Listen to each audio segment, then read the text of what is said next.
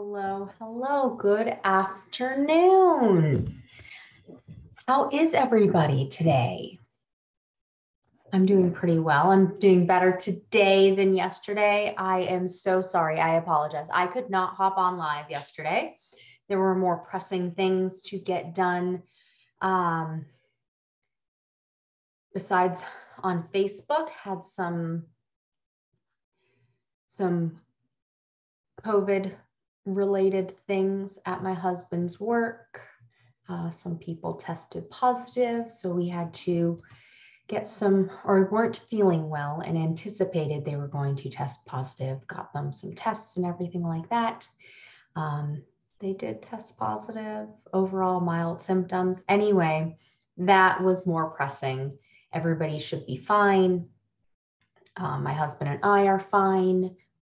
So, anyway, I apologize for not being able to come on live yesterday. So, because I missed yesterday and I am doing the four steps to feel better, I am continuing that conversation today. I will do step uh, three and four today. I can't, I, I may have titled this wrong. I may have said two and three really this is three and four. I can't count. You guys will notice that's going to be a common theme for me. I forget how many i've already done or what step number i'm on. I promise the content is there. The counting might be wrong. So i might say there are five things and there are six. Or i might say i've already done three when i've only done two. So forgive me i'm human. I promise the content and the information is there. And well you might just get a little math lesson too so, yes. So, I am talking four steps to feel better. Today, we are talking about diet and sleep. So, let's talk about diet first. That is step number three. What do I mean by diet?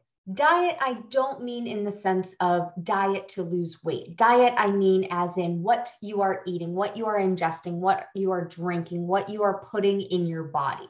So, diet as a generalized, this is how you eat and drink, not cutting calories kind of diet. So, just as clarification. And specifically, I am going to talk about eating foods, drinking liquids that help inflammation, to help prevent inflammation from coming on and help decrease any inflammation that is in your body. So many of you know that um, I have, I started out as a physical therapist 10 years ago. I got my license in 2012 continued on working with people who have a lot of pain, a lot of inflammation, specifically people who have arthritis, osteoarthritis, mainly degenerative joints, degenerative discs, things like that. And one thing I noticed in the physical therapy clinic was that some people just flat out weren't getting better. We tried all the heat, we tried all the ice, they were trying all the creams, they were trying all the exercises. Sometimes they couldn't exercise, sometimes they could exercise.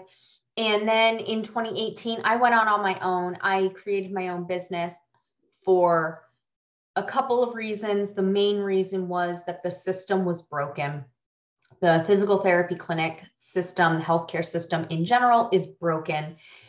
Most clinics work for the insurance companies and not for the patient. So, what do I mean by that? They do things just because insurance pays for it, or they don't do things because insurance doesn't pay for it.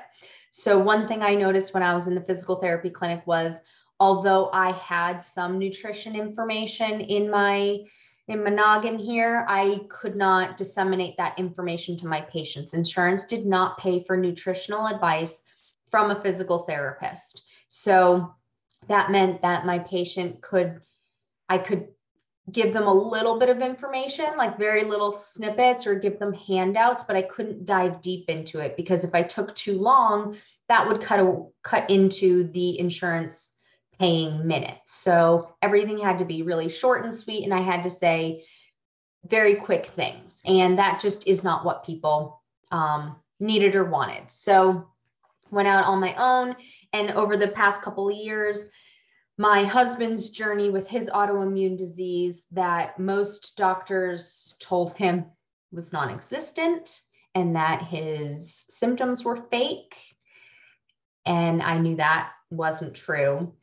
And so I did a lot of my own research into his celiac disease and eating differently to calm down inflammation.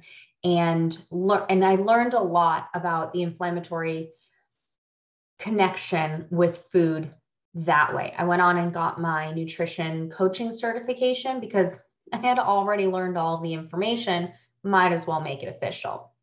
And with his celiac disease, we found out yes, of course, he needs to eat gluten free because he does have that um, gluten sensitivity, gluten allergy, whatever you want to call it. He can't eat gluten, but he wasn't feeling good still even with all of that. So that made us dive in deeper. Was he allergic to dairy? And we thought for the longest time that he was allergic to dairy. So for a very long time, I mean, up until probably two months ago, I was cooking dairy free for him and he still wasn't feeling good. Well, turns out he actually can't have a lot of nightshades. Some nightshades create an inflammatory reaction for him. So he can't have, we actually haven't introduced any new nightshades. We tried, excuse me, let me back up. We tried reintroducing one nightshade, green chili peppers, because I cook a lot of Mexican food and I make an enchilada dish with um, green chili peppers. And he did not tolerate that well. So we haven't reintroduced anything else, but we found out that a lot of the cheese, the shredded cheese that he had, had potato starch in it potato, white potato, is a nightshade. And so I started buying the the shredded cheese that didn't have the potato starch in it because he could have sliced cheese, like get a buy a block of it. We could cut it up, slice it up, and he was fine. Cheddar cheese that way was fine, but shredded cheddar cheese was not fine. And it was the weirdest thing to us. So we just figured it had something to do with the amount that we were putting in. Well, nope, because now he can have the shredded cheddar cheese as long as it doesn't have potato starch in it. So, anyway, so I've learned all of these different things, and his inflammation has calmed down significantly. He doesn't have back pain anymore, and his other symptoms have reduced. They're never going to go away completely. Um, and it's a battle we're going to deal with for the rest of our lives. I call it navigating the new normal. So he's going to have to eat like this for the rest of his life. So for the most part, I eat like this too. And so what do we do? So obviously we cut out gluten. I actually don't recommend everybody cut out gluten. I don't think it's an all encompassing thing. I don't think we're all allergic to gluten. I don't think we're all sensitive to gluten. Um, but if you do think that you have a gluten sensitivity or a wheat allergy or a rye allergy or a barley allergy or any of their derivatives, get an allergy test to find out to see if you should cut out gluten. Because cutting out gluten if you're allergic to it, it's going to calm down your inflammation. And the inflammation is not just going to be on the inside, it's going to be everywhere. If you have a weak link, if you have a bum shoulder, your shoulder is going to start hurting. Like, have you ever heard, you know, the old old wives' tale of, oh, well, I can tell when it's going to rain because my knee starts hurting. It's true, it's the weak link. And so, if there's some kind of change, a barometric change or a diet change or something, then you're going to feel it at the weak link. So if you are allergic or sensitive to gluten, cut out gluten. That will help inflammation. And you, you have to cut it out completely if you're allergic to or sensitive to it. There's no, oh, well, I'll just cheat a little bit. There's no cheating. If if he eats gluten, bad news bears. So if you eat gluten, it's going to be bad news bears if you're allergic or sensitive to it. Same thing with dairy. If you're allergic or sensitive to dairy, cow's milk, goat's milk, sheep's milk, any of them, you want to get tested and see if you are allergic to them before you cut it out. But if you're allergic or sensitive to it, that will help with your inflammation. Now, the next two things I do highly recommend everybody does. I don't have to eat an anti inflammatory diet because I don't have the same kind of inflammatory problems that my husband has. But I cook this way, and I actually do feel a lot better now that we eat this way than how I used to feel. And you don't know it until you've tried it. Like two years ago, eating, like I love Olive Garden. Love Olive Garden. Chicken scampi, it's delicious. Their breadsticks, delicious. And so, you know, I would I would eat that, fine, no problem, because I didn't have any allergy or sensitivity or anything like that. And then um, at the beginning of 2021, we cut out sugar, refined sugar for my husband's diet. He'd been told for a year to do it. We kind of dabbled, so we did it. And we didn't go cold turkey. We eased into it. And if you want to know how I did that, uh, make a comment here and I'll give you the handout that I share with my clients on how we went sugar free. And and so in that time where we were going sugar free, we weren't going out to eat. We I was cooking everything at home, breakfast, lunch, dinner, snacks, everything like that. And then after we cut out the sugar and we were adding some things back in, you know, I got Olive Garden with a friend and I was exhausted that afternoon after lunch. And I was like, what the heck is going on? Like, I feel like I could go take a three hour nap. Well, that was just because of how heavy that meal was. And it's the chicken scampi. It's not chicken alf, uh, you know, fettuccine alfredo with the creamy heavy sauce or anything like that. It's like a garlic butter sauce. It's relatively light for what they have. So anyway, but I didn't know how tired and how quote unquote bad it made me feel until I had it again later. So you don't know how it's affecting you unless you stop having it and then go back and reintroduce it. So anyway, so we cut out sugar. So sugar really does inflame your body. It sticks to different places. Um, you know, sugar can deposit anywhere if there's excess sugar. So one problem with diabetes, for example, is, you know, they say cut out sugar. Well, why? I mean, yes, the sugar is the glucose in your bloodstream that makes the body go crazy. In with diabetes, um, your body doesn't know how to or stops producing the insulin. Insulin is what helps control the sugar levels in your body. So, like if you eat a Snickers bar, your your body says to produce insulin tells your pancreas to produce insulin to handle all of the sugar that's in your bloodstream. Well, if you have diabetes, your body doesn't know how to do that and doesn't do it as well. And so, type 2 diabetes. And so then you have all this excess sugar. Well, that excess sugar is floating around in your bloodstream and it can deposit on your nerves. And then it eats away at your nerves. And then you get neuropathy. And then you can't feel your feet and then because you have so much sugar level in your bloodstream, your your body can't handle injury. So if you get a cut on your foot and you have type 2 diabetes, well, your foot now can't heal that cut, turns into a bigger cut, an ulcer, then it can go gangrene and die, and then an amputation. So that's a very extreme example, but that's one thing that sugar does to the body. And it can deposit anywhere, and it can inflame your body because your body does isn't used to it and just doesn't like having so much in there. So cutting out refined sugar, the sugar, the only sugar I cook with is pure maple syrup coconut sugar, coconut palm sugar, or raw honey. That's it. Those are the sugars that I cook with. Did I have ice cream last night? Yep, I did. But now I know that because dinner had no sugar in it, I know exactly how much sugar I put in my body through however much ice cream I ate.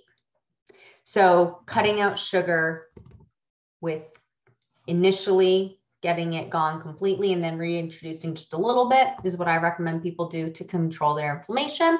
And then cutting out saturated or bad fats. So vegetable oils, seed oils, um, you know, too much butter, things like that. Eating good fats. So avocado, um, s- some butter is okay. You know, when I say cut out too much butter, like really it's too much butter. Uh, cooking with extra virgin olive oil instead, cooking with avocado oil, some coconut oil, not too much. You don't want to go too crazy on that, but cutting out the saturated fats, the trans fats, um, those those inflame your body as well. So that was a long story to tell you about the anti-inflammatory diet. So I'll recap those for you. So cutting out gluten or dairy if you're allergic or sensitive to them to help with your inflammation. I do recommend everybody cut out refined sugars. So cane sugars, brown sugars, um, things like that. You can cook with raw honey, pure maple syrup, coconut sugar, and then sugars that naturally come from fruits. So an apple, strawberries, those are fine. Um, and then cutting out saturated fats, so vegetable oils, Crisco's, shortenings, things like that.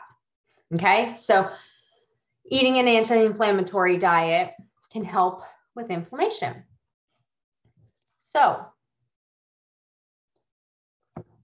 next one, the next step, step number four of four to feel better now is to get better sleep. Wouldn't we all like to do that? Wouldn't we all like to sleep? I don't have an issue sleeping.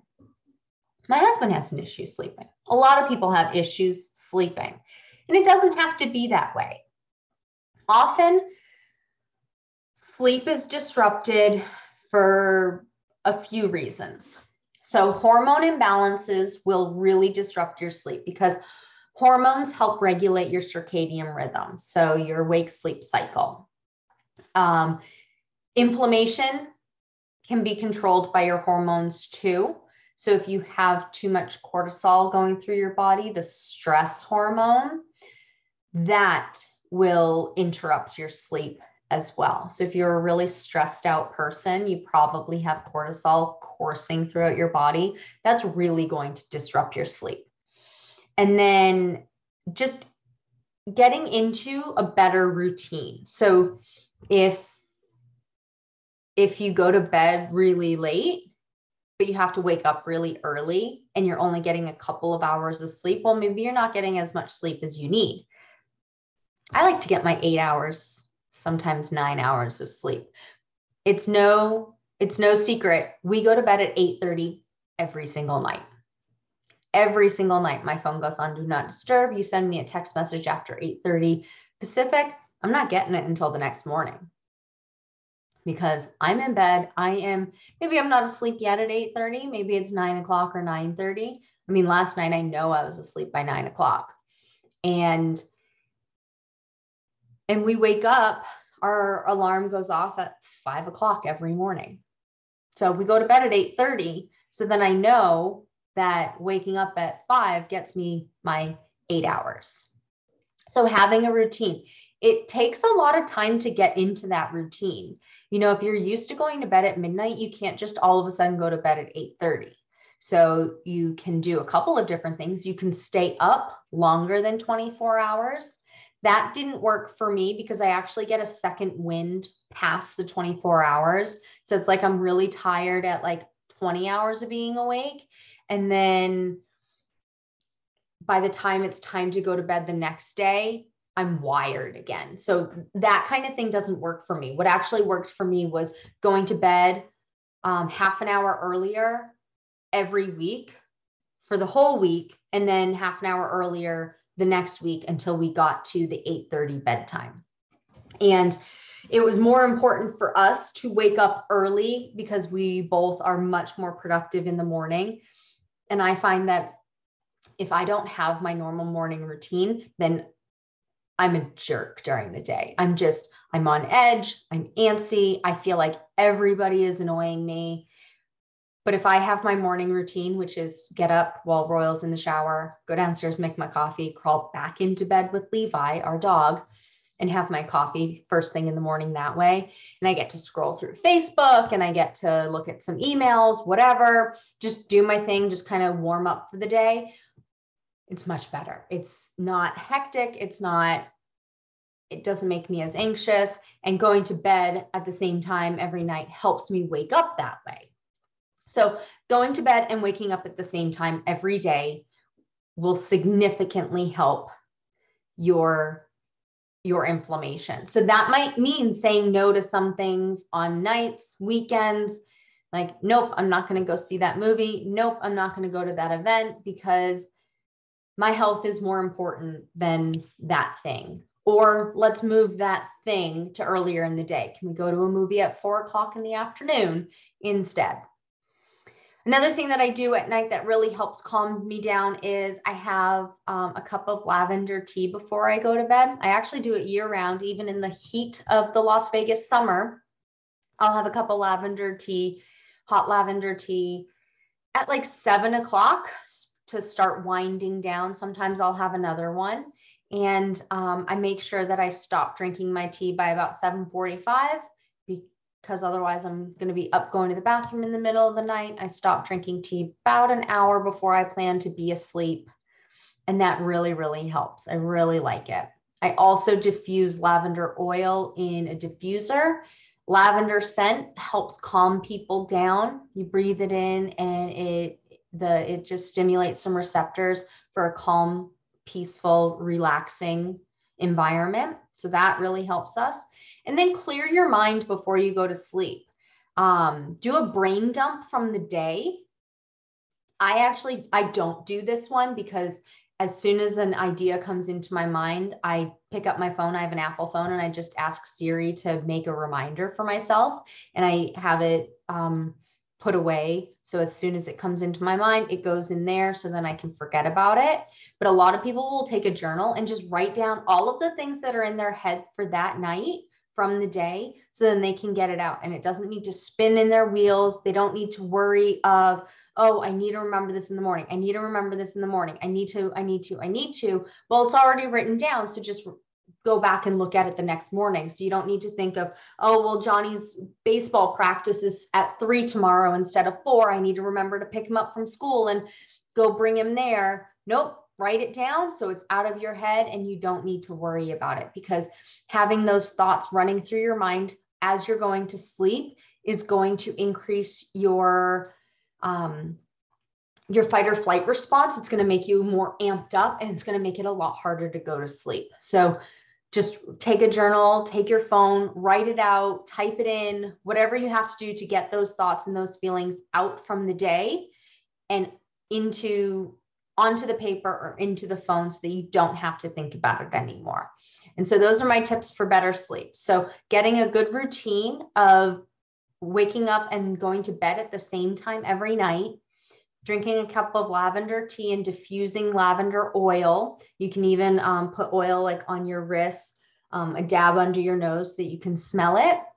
And then clear your mind when you're going to sleep so you don't have all those thoughts buzzing around in your head and you can have a good night's sleep.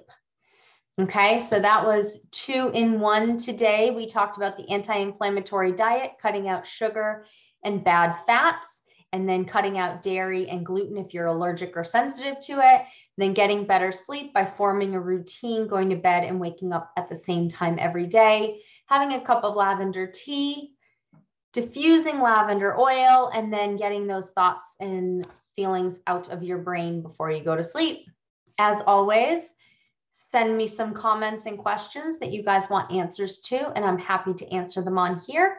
And I will see you guys soon.